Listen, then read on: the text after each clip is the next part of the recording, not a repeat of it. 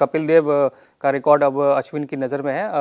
हरभजन सिंह का तो तोड़ ही दिया उन्होंने हाँ आज ये रिकॉर्ड के बारे में बताओ चार सौ सत्रह विकेट हरभजन सिंह के नाम थे तो उसको पीछे छोड़ दिया आर अश्विन ने। हम्म।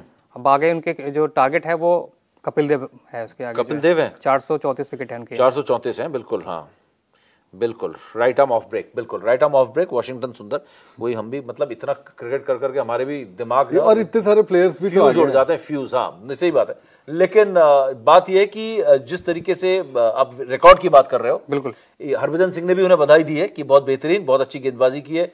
आज उनका रिकॉर्ड उन्होंने तोड़ा है टेस्ट क्रिकेट में। अब कपिल पाजी का रिकॉर्ड जो है निश्चित तौर पे टूट रहा है उसमें तो कोई शक ही नहीं है। चार विकेट हालाँकि कितने? बारह विकेट दूर है। बारह से चौदह विकेट दूर है। तो, तो तोड़ देंगे। बस ये है कि दो तीन मैच में वो शायद वही कारण लेकिन कुंबले का विकेट टूटता हुआ मुझे नहीं नज़र आ रहा। छह सौ उन्नीस। छह सौ उन्नीस बहुत दूर दिख रहा है अभी। दिल्ली बहुत दूर है अभी। बहुत लंबे समय तक खेलना होगा लंबा सफ़र। लेकिन नज़दीक ज़रूर पहुँच सकते हैं। मुरली कार्तिक ने भी कुछ बोला है शायद इस बारे में। मुरली कार्तिक मुझे लगता है स्लिप ऑफ़ टंग हो गया था वो उनका। तो उन्होंने कहा कि Harbhajan Singh would be happy today उन्होंने ये कहा। लेकिन आ, मुझे लगता है स्लिप ऑफ़ टंग भी नहीं है। जिस आ, इस सेटअप में मुरली कार्तिक ने खेला भी है तो जब कोई प्लेयर किसी बड़े प्लेयर का दूसरा रिकॉर्ड तोड़ता है ना तो उन्हें कहीं ना कहीं खुशी भी होती है इस बात पर कि आपका एक रिकॉर्ड टूटा है आपसे बेहतर एक खिलाड़ी आया एक बेहतर सर्वेंट आया इंडियन क्रिकेट का। उस तरीके से भी देखा जाता है अभी ये बहुत बड़ी बात है आर अश्विन का परफॉर्मेंस और और आप आप आप भरोसा नहीं करते थे आर अश्विन को ये वही आर अश्विन है जो इंग्लैंड में चारों टेस्ट मैच में बाहर बैठे थे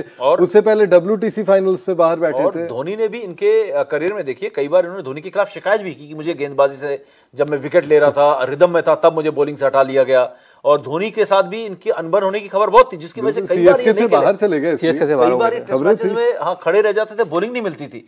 और इन विपरीत स्थितियों के बावजूद आज इस खिलाड़ी ने इतने ज़बरदस्त गेंदबाजी करके आज हरभजन सिंह के 417 विकेट का रिकॉर्ड तोड़ दिया। तो ये अपने आप में कमाल की बात है और वाकई में आर अश्विन जो है ना एक अलग टाइप के गेंदबाज हिंदुस्तान को मिले हैं जो ना सिर्फ़ गेंद गेंदबाजी से बल्कि अपने टेम्परामेंट से अपने एग्रेशन से।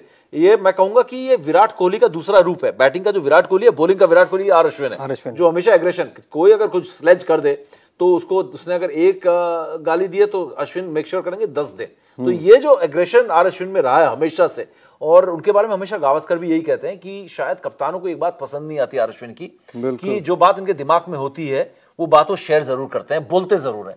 तो कई बार कप्तान को उनकी बातों पर गुस्सा भी आ जाता है कि वो चुप क्यों नहीं रह सकते वो बताने की ज़रूरत नहीं है। तो इस तरीके की उनकी आदत भी है क्योंकि ब्रेन इतना तेज चलता है इतने आइडियाज़ आते हैं तो वो कई बार जो शेयर करने का शायद तरीका होता है वो भी कई बार जो होता है अपने सीनियर खिलाड़ियों को पसंद नहीं आता। लेकिन आर अश्विन की आज जितनी तारीफ़ की जाए कम क्या करियर और क्या विकेट और जितने वेरिएशन उन्होंने ईजाद किए लगातार नई नई चीज़ें कोशिश करते रहना अश्विन की ताकत रही है हमेशा से हम्म। कि कुछ नया कुछ नया कुछ नया चाहे वो चले चाहे ना चले। तो ये अश्विन की ताकत रही है हमेशा से और इसी वजह से आज इतने सक्सेसफुल बॉलर है वो। इंडिया टीवी हर वक्त हर जगह। डाउनलोड करने के लिए सर्च करें India TV news Google Play Store या एप स्टोर पर।